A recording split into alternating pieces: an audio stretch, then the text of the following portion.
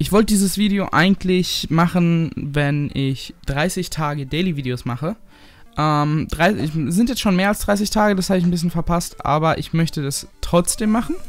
Ich hätte irgendwie nicht gedacht, dass ich es bis zu den 30 Tagen überhaupt erstmal schaffe, weil ich war, ich, ich, war nie so der Typ, der jeden Tag aufgestanden ist und sich gedacht hat, Digga, jetzt, heute hassel ich wieder richtig für YouTube. Ähm, aber ich muss sagen, es ist lustig, es macht echt Spaß. An manchen Tagen zumindest. Ähm, manchmal ist es aber auch extrem anstrengend. Also manchmal bin ich wirklich eigentlich fertig. Ich habe keinen Bock mehr. Ich bin todmüde. Ich habe keine Energie mehr. Aber dann setze ich mich trotzdem irgendwie noch hin und äh, mache ein Video.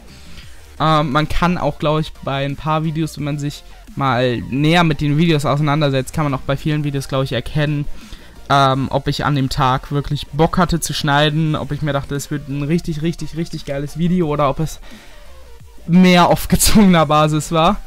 Ähm, aber ich meine, auch die Videos, die auf gezwungener Basis waren, sind nicht allzu schlecht bei euch angekommen. Also ich meine, damit kann ich durchaus leben.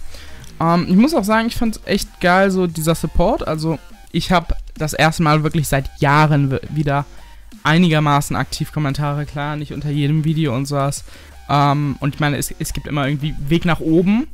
Ähm, aber ich muss sagen, ich bin einigermaßen glücklich damit, wie das läuft. Worauf ich mal gespannt bin, sag ich jetzt mal, ist, ich habe keine Ahnung, wie ich das im Urlaub machen will.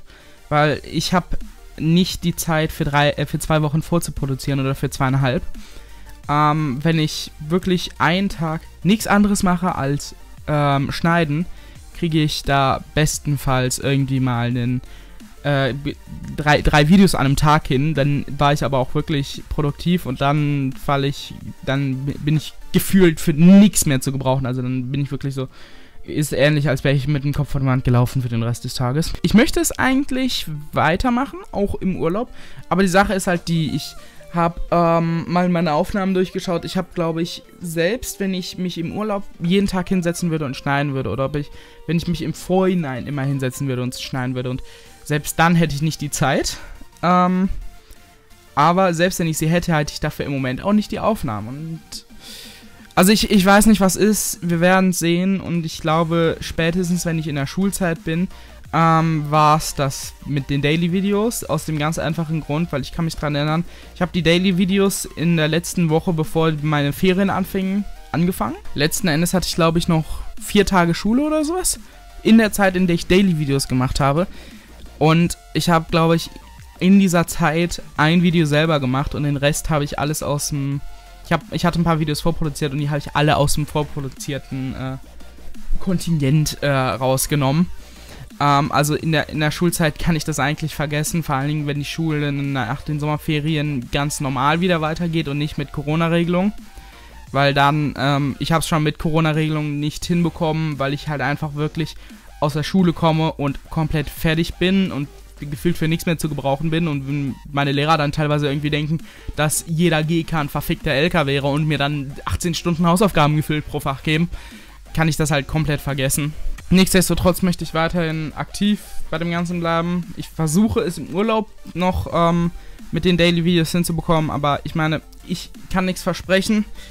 Und was ich mir auch wünschen würde, ist, ähm, wenn ich irgendwie auf Twitter oder auf Insta oder sowas oder auch in einem Video sage, schreibt mir mal in die Kommis, wie ihr Format XY, was ich jetzt neu ausprobiert habe, findet. Bei sowas finde ich es dann schade, wenn ich keine Kommentare kriege, weil der Kanal lebt eigentlich auch davon, dass es, oder hauptsächlich davon, dass es den Zuschauern gefallen soll. Und ähm, wenn ich dann sage, gib mir mal Feedback, sag mir mal, was ihr davon haltet und ich kein Feedback bekomme, kann ich nicht sagen, was ihr davon haltet letzten Endes. Klingt logisch, I guess. Nichtsdestotrotz macht es mir Spaß im Moment und ähm, ich hoffe, ich kann es noch lange weitermachen mit den Daily-Videos. Ähm, aber ich glaube, also allerspätestens, wenn ich, äh, wenn die Schule wieder losgeht, dann bin ich in der Q2, dann ist es mein letztes Jahr vor dem Abi und ähm, da hoffe ich, habt ihr auch Verständnis dafür, dass dann Schule und Abi irgendwo ein bisschen Vorrang hat gegenüber einem YouTube-Account, der seit drei Jahren nicht mal 100 Abonnenten hat. Ich hoffe, dass euch das Video gefallen hat. Vielleicht gibt es auch ein, zwei Sachen, die ihr euch mal gefragt habt, die damit jetzt beantwortet wurden. I don't know. Um, ähm, ich muss noch ein Gameplay finden, dass ich den Hintergrund schalle, aber das sollte nicht so schwer sein. Da habe ich, glaube ich, noch ein, zwei Sachen im Petto.